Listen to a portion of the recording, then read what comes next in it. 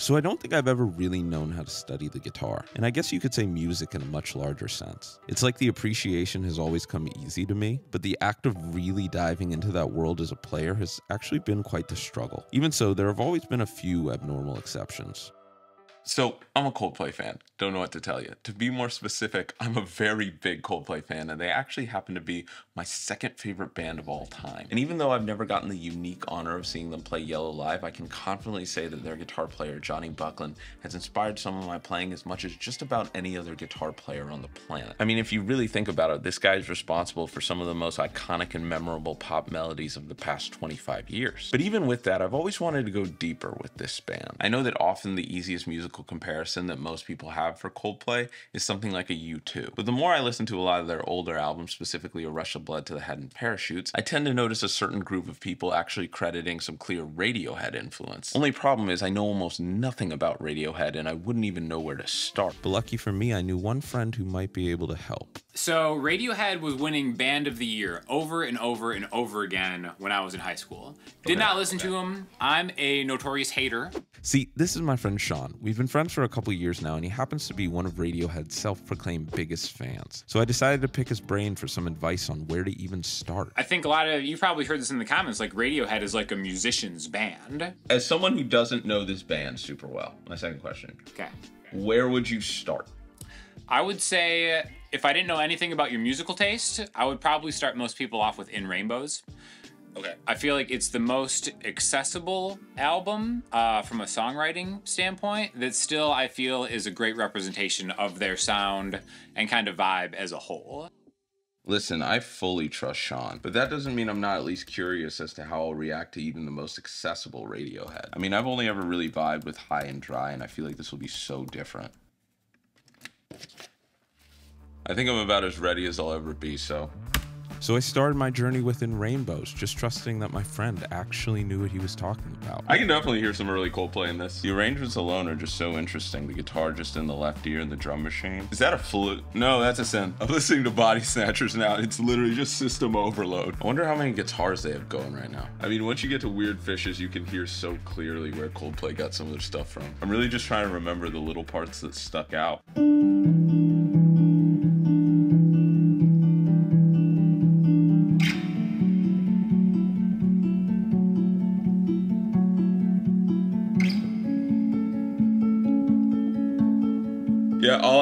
Need might be the favorite. All I need might be the favorite right now. Do they have the full kit panned hard right? If it's an album a day, so far I really liked it. In Rainbows, not nearly as dissonant as I thought it would be going in, but again, that's the most accessible one. Today is the big day. We're going for OK Computer because apparently this is the best one. OK Computer just hit me from the first track, Airbag, and like my life was never the same. Just starting off, okay. I feel like it's already much more electric guitar driven than in Rainbows. It's like more overdrive. Am I hearing some U2 influence or maybe the other way around? Subterranean is definitely the favorite so far.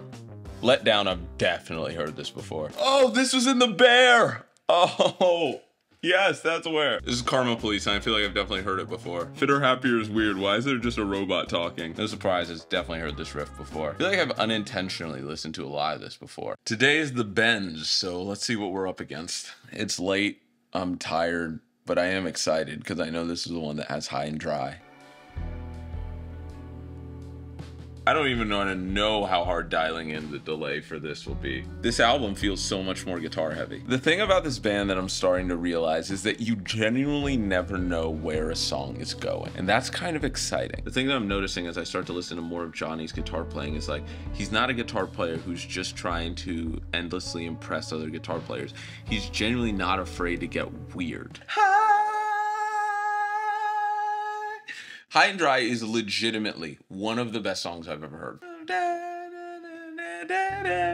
If I ever scored a movie, this would be this would be in the title sequence. How do you even follow that up? How do you even follow that up? Was fake plastic trees? I feel like I've heard of that one before though. I'm gonna be honest, Bones is not my favorite. I knew I had heard this one before, and I knew it was a How I Met Your Mother song. I promise you, I guessed it was How I Met Your Mother. I know that show way too well. Essentially, just from pop culture, I feel like I've heard more than half of this album before, even if I've never formally listened to it. I just started just, and I'm like, oh, yeah, everyone knows that riff. My Iron Lung wasn't expecting that. Bulletproof is nice. Bulletproof is real nice. That chorus guitar hook, that just made it one of the best on the album, probably the best other than High and Dry.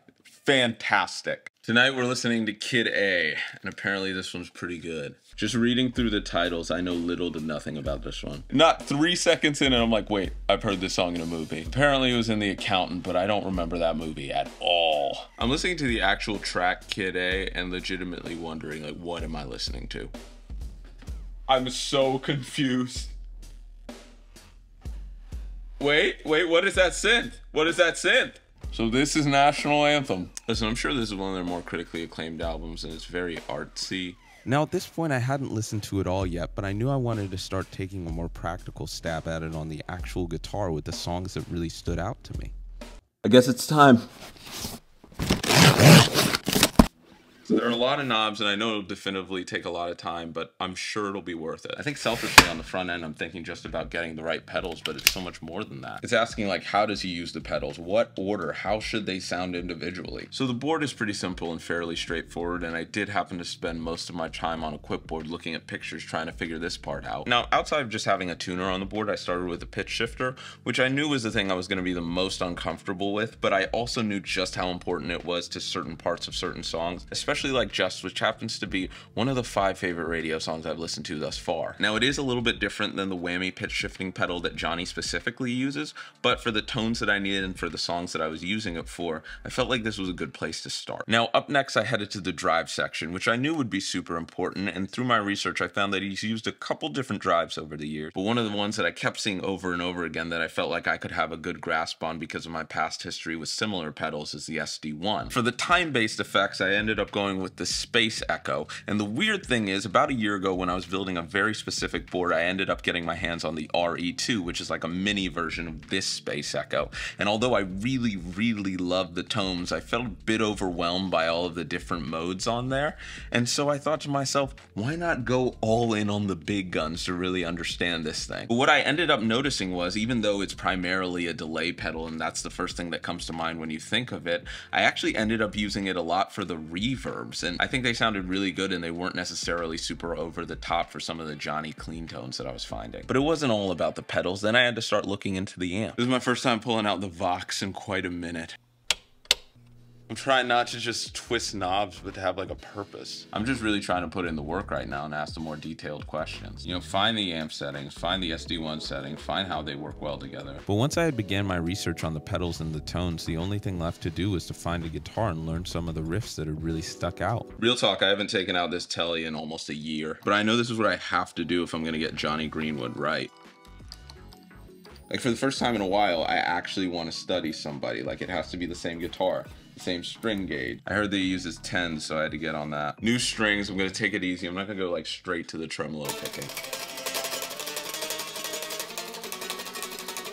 This pick is gonna be worn down real quick.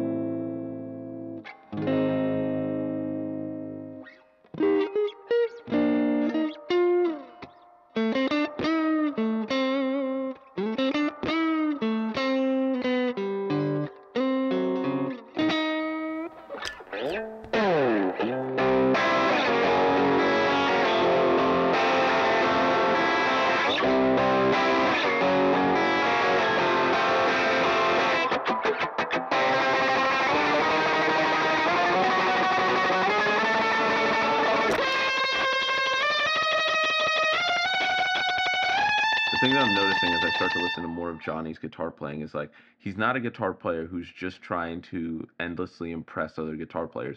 He's genuinely not afraid to get weird.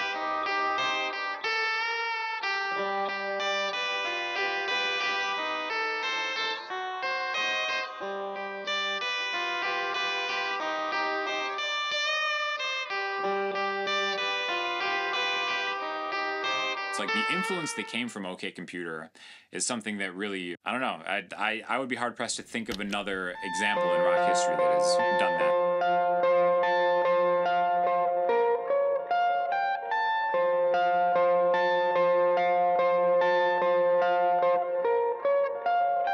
As I sat there learning and playing these riffs, for the first time, I felt like I could feel it. And it wasn't what I thought. I originally imagined it was going to be learning the reasons behind Radiohead's genius, but all I could think was even though this band clearly thinks on a completely different level musically, as a guitar player, I keep coming back to Jonny. And they've even said this themselves that like Jonny is the only one that's actually like a like a great musician. Which you know I, will push back on some. I think a lot of that is just kind of like some humble humble talk. But uh, yeah, so Jonny is a little bit younger than the other ones, but they're like this this guy this bro is is ridiculous.